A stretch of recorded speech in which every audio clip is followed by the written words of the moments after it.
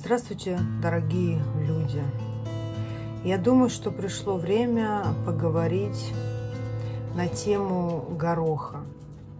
Я еще не знаю, выложу я это видео или нет, но буквально последние два дня меня мучает эта мысль, стоит об этом разговаривать или нет. Ну, на всякий случай я видео, конечно, запишу, а там посмотрим по ситуации. А, во-первых, очень приятно видеть и понимать, что а, вокруг очень много добрых, хороших людей. Например, наши подписчики в Инстаграм, которые очень поддерживают Гороха, меня даже поддерживают, любят его и, собственно, желают ему всего самого хорошего. Изначально аккаунт Гороха был придуман абсолютно случайно. Несколько лет назад у меня еще был маленький э, несуразный телефон с минимальной памятью, и фотографий в него много не влезало. И нашелся такой выход – фотографии все я сгружала либо там в Одноклассники на то время, а, либо в ВК. И потом появился Инстаграм, и чтобы они всегда были под рукой, я начала их заливать а, в Инстаграм. Ну, собственно, где вы сейчас и находитесь.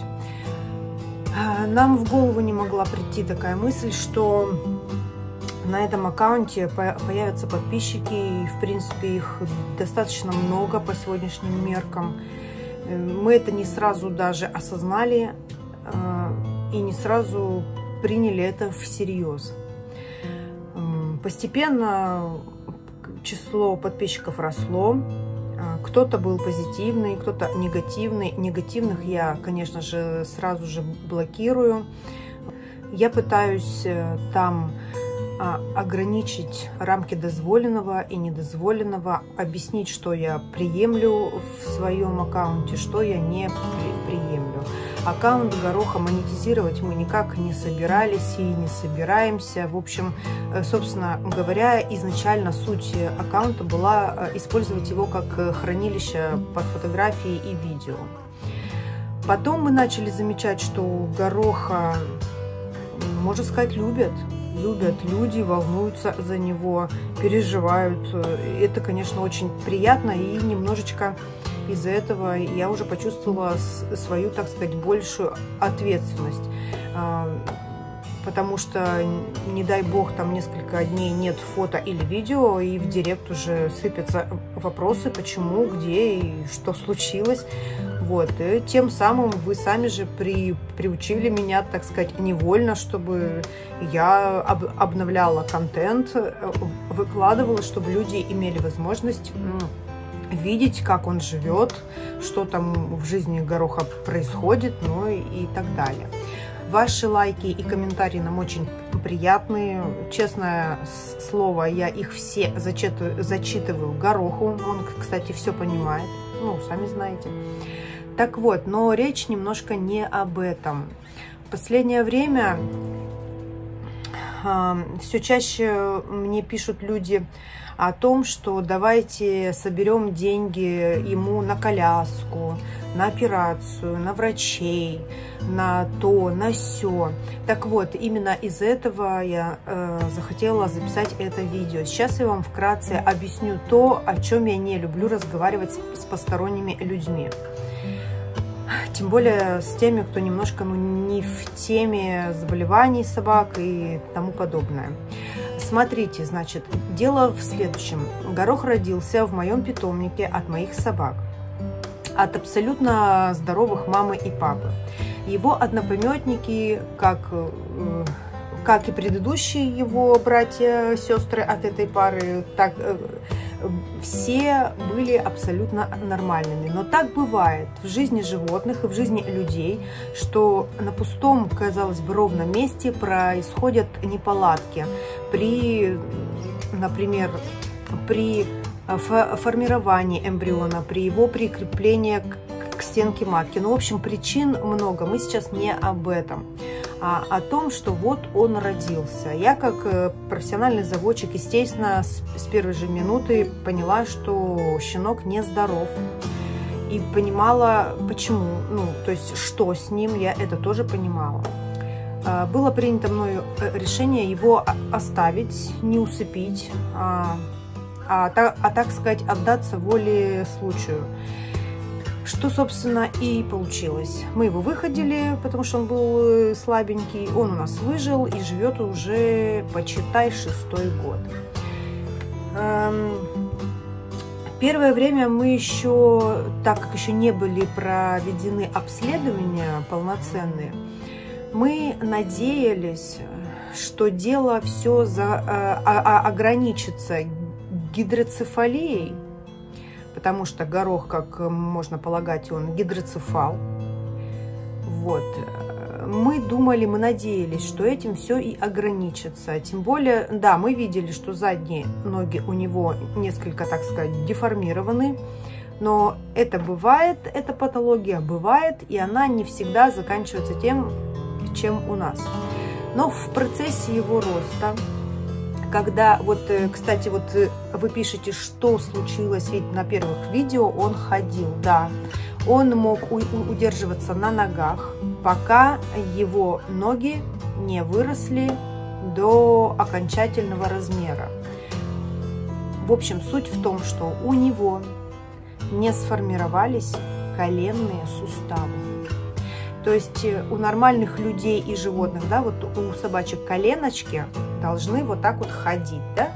Ну, я сейчас буду выражаться не медицинским языком, чтобы было более понятно, а бытовым.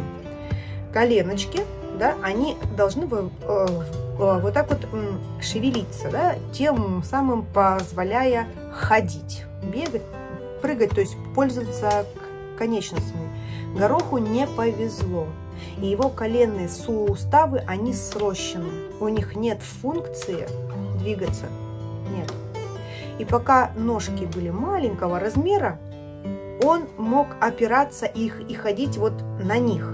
Но когда ножка выросла, он же стал ну, подростком, взрослой собачкой, когда ножки стали большой длины, естественно, на них опираться уже стало невозможно.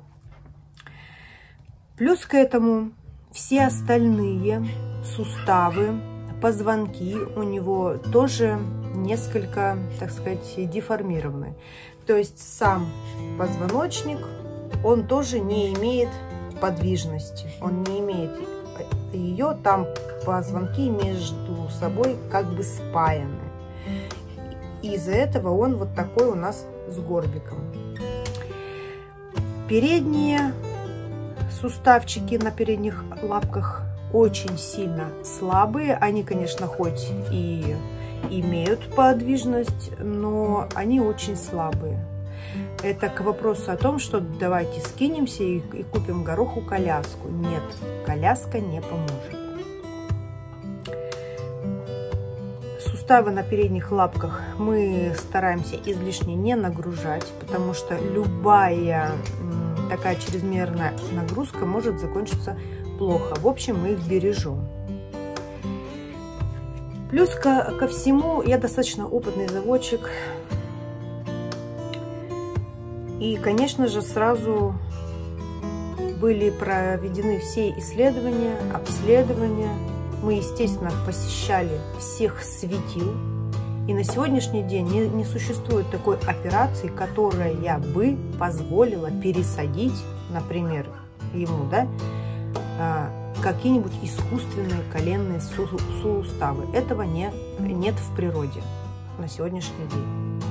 Плюс еще, как вы понимаете, у, у него экстремально малый размер, чуть больше 600 грамм. Таких операций в мире пока не делается. И, собственно, будем жить так, как мы живем. Из-за того, что и позвонки у него тоже не имеют подвижности, они срощены. С каждым годом они все больше кальцинируются и ухудшается проводимость, то есть ток спинномозговой жидкости. Это такая жидкость, которая должна оттекать от мозга вниз. Этот отток у нас тоже нарушен. Это и есть гидроцефалия.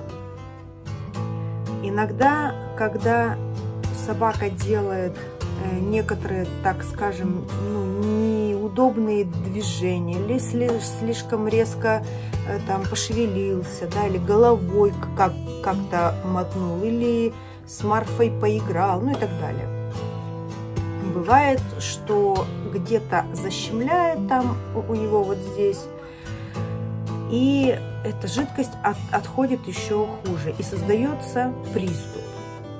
То есть э, в этот приступ мы отводим медикаментозно э, ликвор из мозга, там мы снимаем мышечные спазмы и бла-бла-бла. Все, все это лечение не стоит дорого. Это стоит сущие копейки. То есть э, лечение симптоматическое, оно недорогое. А, приступы у нас, в принципе, часто только последний год. А, то есть нам не нужна помощь, ни коляска, ни врачи, ни лечение. То есть, э, пожалуйста, это очень похвально, это приятно, это потрясающе, что вы добрые, отзывчивые люди. Но э, гороху помощь не требуется. Огромное спасибо, конечно, за это. Но чтобы вы понимали, да, э, все это не стоит дорого. Мы это абсолютно спокойно, даже не замечая э, все, мы это делаем. И препараты, инъекции, там рентгены плановые, да, и так далее. Это все очень недорого. Но спасибо, да, спасибо, по крайней мере, за порыв, за, за вашу душу, что вот появляются вот такие благородные мысли. Это, конечно, очень круто. Но лучше потратить эти средства на лечение действительно тому, кому нужно. Так вот, дальше его заболевание будет только прогрессировать и ухудшаться, потому что позвоночник с каждым годом он становится, гру грубо говоря, все хуже и хуже. И приступы у нас будут все чаще и чаще. Мне неприятно это говорить вам, а, любителям, ну, так сказать, поклонникам гороха, но вы должны быть морально готовы к тому, что в любой момент как бы может все закончиться. И спасения это нет, по сути дела. То есть тут уже как, как получится, как даст организм.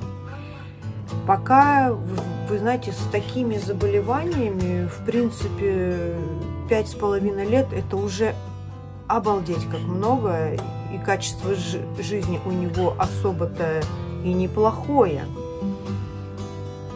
Поэтому я не люблю вот эти дурацкие советы, которые некоторые пишут э, в Инстаграм или в Ютуб. Там сделайте ему колясочку, а сделайте ему операцию, да, а дайте ему витаминку для шерсти. Вы, как правило, понятия даже не имеете, о чем вы говорите. И надо принять то, что в общем, ладно. Поэтому хочу выразить вам огромную благодарность за то, что вы подписаны на него, за то, что он вам нравится, за то, что реально, я же читаю, я же понимаю, кто пишет искренне, да, кто не очень. Это, конечно, приятно, то есть, ну, приятно то, что не только я его люблю, да, не только мне он нравится, не только я за него всей душой, всем сердцем, но и вы тоже. То есть, оказывается, много людей, которые со мной, получается, на одной волне. Это очень круто, это очень ценно. Это, это вы не представляете, как это классно. А, читайте Гороху комменты, которые вы ему пишете. И он же шевелит ушами, моргает глазами и совершенно все понимает. Огромное вам спасибо. Но и помните, что помощь нам никакая не нужна. Огромное спасибо. Огромное спасибо. Мы полностью под, то есть держим под контролем его здоровье, у нас, как говорится, рука на пульсе. И поверьте уж, мы делаем все возможное, чтобы он жил как можно дольше, и при этом, чтобы качество жизни его не страдало. Вот. Вот это все, что я хотела сказать. Ну и просьба такая, что если вы чего-то недопонимаете, лучше не пишите. На это уходит энергия вот это вот и время. Блокировка, чистка аккаунта, вот это бла-бла-бла-бла-бла. Любой аккаунт – это тот же самый дом. Вот как я сейчас здесь нахожусь, также и все мои аккаунты – это мой дом. И культурные люди должны понимать, что в чужой дом, ну, как бы не, не приходят, чтобы покакать в центре кухни. Вот то же самое касается и аккаунтов в соцсетях. Вот. А всем остальным позитивным людям огромное еще раз спасибо. Мы это очень ценим, очень ценим. Особенно те, кто вот прям чувствуется, что искренне волнуется за гороха и переживает, он нравится. Вот, на этом, собственно, все, что я хотела вам рассказать. Я думаю, вы поймете. И большое всем спасибо.